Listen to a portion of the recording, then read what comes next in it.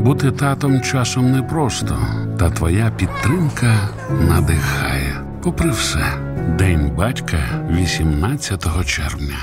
Я вітаю вас у марафоні Час новин. І для вас до 18-ї вечора працюють команди фактів та вікон у нашому об'єктиві. Війна цієї ночі російська армія атакувала трьома безпілотниками прикордонне місто Білопілля на Сумщині. За даними офісу генпрокурора, внаслідок ворожої атаки вщент знищені три будівлі.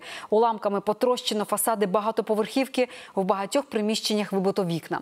Інформації про загиблих чи травмованих поки немає. Тим часом повітряні сили ЗСУ повідомляють про шість знищених іранських ударних дронів. Ворожі безпілотники ліквідували ППО оперативного командування Схід. Окрім Сумщини, дрони атакували і прифронтові зони на Харківщині.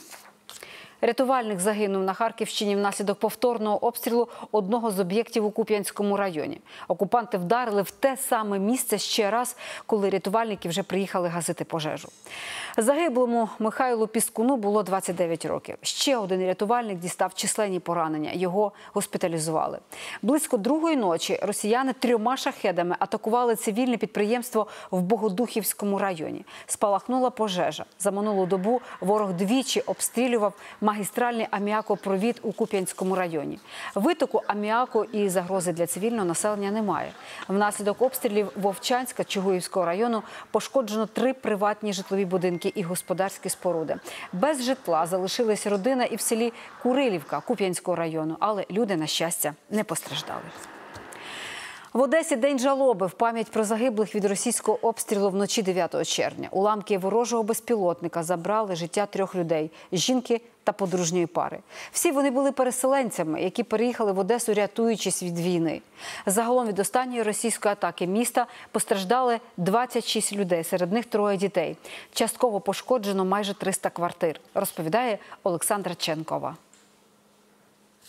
Я издалека слышала уже шум приближающийся, а так бы страха не было. Пані Карина плівкою закриває вікна своєї оселі. Вибите скло посікло обличчя жінки. Ще понад два десятки її сусідів отримали схожі поранення, серед яких й троє дітей. Госпіталізували 13-річну дівчинку. мала струс головного мозку і також невеличку рану е, правої щоки. Теж виконана хірургічна допомога, рана вшита. Е, Дитина госпіталізована була до відділення нейрохірургії. Вікна вибило й у квартирі Олександра. Тепер до своєї кімнати він потрапляє ось так, бо через ударну хвилю просіли двері. Під час повітряної тривоги хлопець вийшов у тамбур. Це врятувало йому життя. Я бы туда, меня при... м, да, прибило бы, наверное. Ну, тут, получается, стекла были везде. Вылетели окна здесь, там была дверь закрыта, тоже там повылетали все окна. Буквально минут 20 проходит, начинает гореть восьмой этаж. Там не было соседей, получается, там была дверь бронированная, закрыта. Житло сусідів знизу постраждало найбільше. Через пряме влучання уламку збитого дрону квартира вигоріла вщент. Сусіди кажуть, тут ніхто не живе. Рятуючись від війни, родина виїхала за кордон. Комунальники й досі розбирають згарище.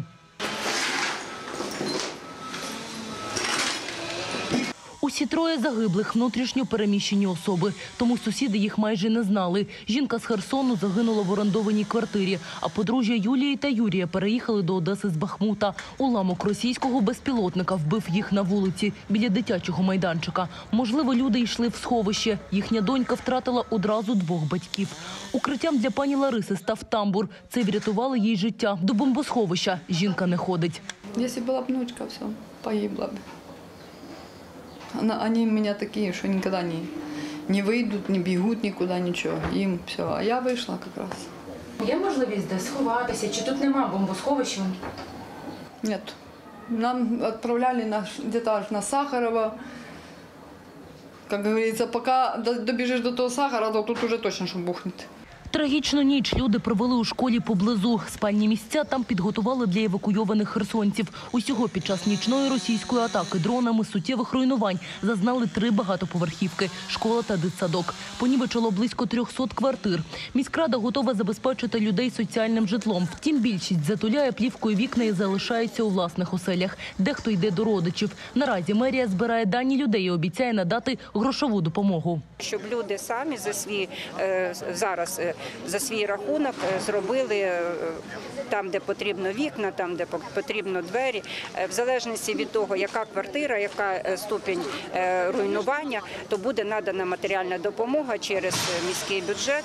В ніч з 9 на 10 червня ворог атакував Одещину не лише безпілотниками. Росіяни вчергове спрямували крилаті ракети в багатостраждальну Сергіївку. Їхні уламки зруйнували сім будинків, ще 15 пошкодили, постраждали шестеро людей. Олександра Ченкова, Євген Репенько, програма Вікне СТБ. Єдині новини. П'ятеро мирних жителів поранені внаслідок ворожих обстрілів деокупованої частини Херсонщини за минулу добу. Про це повідомив керівник тамтешньої обласної військової адміністрації. За його даними, завчора загарбники обстріляли регіон понад 40 разів. Загалом російська армія випустила майже 250 снарядів з мінометів, артилерії, градів, БПЛА та авіації. Здебільшого під ворожим вогнем житлові квартали в обласному центрі та інших населених пунктах Херсонщини. По Херсону окупанти вчора били сім разів. Ну а тим часом на Херсонщині заборонили купатися у водоймах, ловити, споживати і продавати рибу. Під забороною також водопій тварин та забір води в акваторії Дніпра і прилеглих водойм у місцях підтоплення. Як повідомив начальник місцевої ОВА Олександр Прокудін, проби води після російського теракту на Каховський ГЕС показали, що концентрація шкідливих речовин в десятки разів перевищує допустиму норму. Хімікати, збудники хвороб складовищ, вбиралень та сміттєзвалищ могли потрапити до криниць і відкритих водойм на затопленій території, наголосив голова ОВА. Крім того, зауважив він, небезпечні для здоров'я речовини могли бути на дні зруйнованої загарбниками ГЕС. Тож людей на Херсонщині закликають пити тільки бутильовану чи привезену воду. За добу рівень води в Херсоні знизився на 54 сантиметри. Як повідомляють в Укргідроенерго, максимальний рівень води в обласному центрі, як і раніше, високий. Тримається на позначці понад 4 метри. В області вода теж потроху спадає. Лише на правобережжі Херсонщини у воді 32 населені пункти. Підтоплено понад 3700 осель. Умови для роботи рятувальників з волонтерами досі складні. З ними поруч працюють іноземці з різних волонтерських організацій. Вони вантажівками везуть допомогу, постійно дивуючись мужності та людяності українців. Це нормально, що тут все виглядає, наче на узбережжі Майамі. Тут було саме лише поле без жодної води, а тепер тут 6 метрів води. Це американські волонтери не можуть повірити у реальність того, що бачать. Затоплені будинки, виснажені люди, які менше з тим не втомлюються рятувати один одного. Просто неймовірна історія добра. Родина із дитиною допомагає песику. Вони привезли йому корм. І роблять це навіть під обстрілами. Це шматок російської бомби, якими б'ють по цивільних людях. Це й без перебільшення натовп людей, ті, кого вивезли з затоплених територій. Воду, продуктові набори та іншу гуманітарну допомогу їм привезли із сотні волонтерів. Одна з таких організацій американська некомерційна Global Empowerment Mission у партнерстві з фондом Говарда Баффета. Її команда працює як служба реагування на глобальні катастрофи.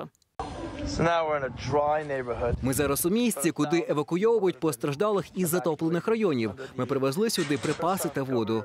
І таких волонтерів, які після підриву росіянами Каховської ГЕС рятують все живе від великої води, багато. Натомість деякі великі міжнародні організації та світові лідери ганебно байдужі до трагедії. Про це заявив президент України Володимир Зеленський. коли деякі світові суб'єкти не наважуються вийти навіть із чіткими та сильними заявами, які б засуджували цей черговий російський злочин війни. Терористи просто підживлюються цією слабкістю світу, цією байдужістю. Вона їх заохочує. І це ми маємо подолати і подолаємо. Тиснемо і спонукаємо, щоб все ж міжнародні організації, міжнародна підтримка була на тій частині Херсонщини, де зараз окупанти. Як повідомив голова Херсонської ОВА Олександр Прокудін, вода потроху відступає. На ранок її рівень становить 4 метри 19 сантиметрів. За ніч він знизився на 26 сантиметрів. Підтопленими залишаються 32 населених пункти на правому березі та 14 на тимчасово окупованих територіях. На правобережжі вже евакуювали 2720 осіб. На лівобережжі такої позитивної динаміки не маємо. Зменшилась е, швидкість спаду води, евакуація провалена. Окупанти відбирають у людей човни і самі опливають е, затоплені будинки, забираючи майно, що вціліло. Завтра в Херсоні та області очікуються грози, місцями град, шквали вітру до 29 метрів на секунду. Волонтерів не допускатимуть до рятувальних операцій, тож поки вони намагаються встигнути допомогти якомога більше. Аліна Сундукова, програма Вікна СТБ, марафон. Єдині новини.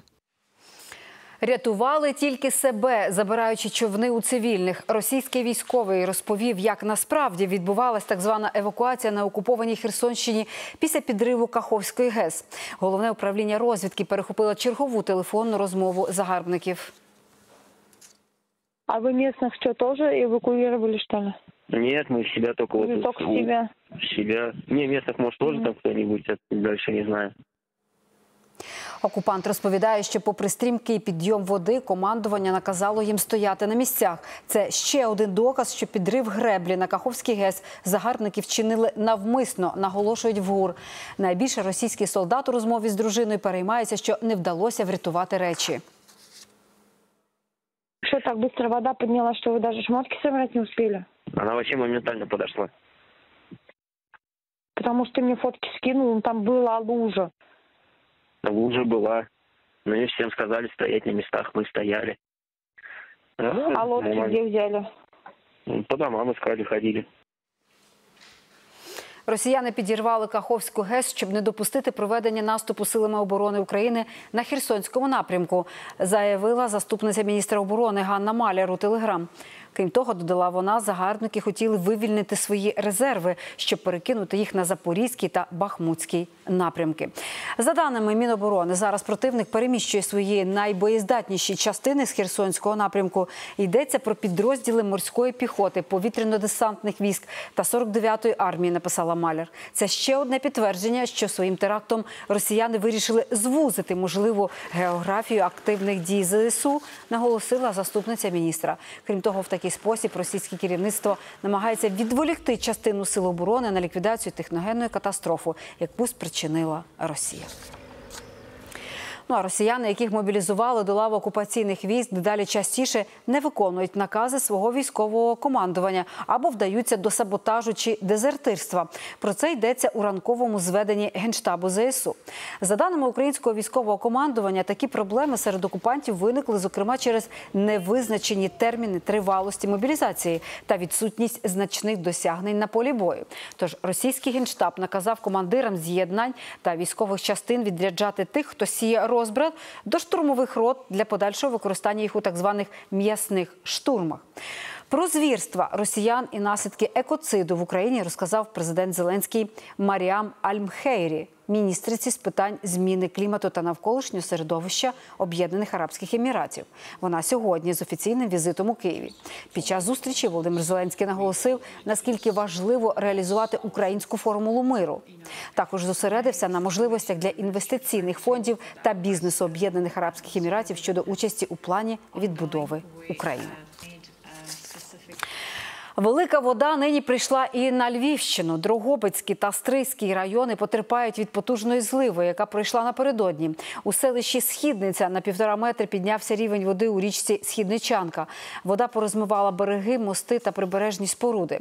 За даними голови ОВА Максима Козицького, у селищі затоплені шість вулиць, майже сотня житлових будинків, 10 готелів та магазини. Із майже двох десятків домогосподарств довелося відкачувати воду.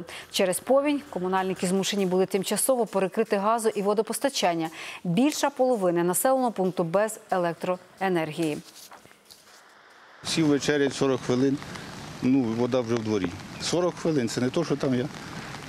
Качеля, бачите, в сусідів на, на плоті висить. Бесідка повинна стояти там, де машини, бачите, де цей.